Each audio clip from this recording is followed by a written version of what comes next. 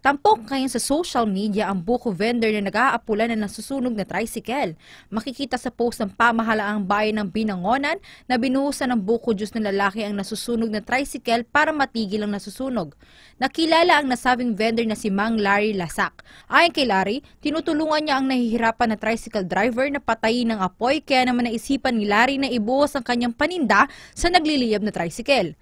Dahil dito, maraming mga netis ang hinangaan ni Mang Larry dahil may ituturing na kabayanihan umano ang ginawa nito.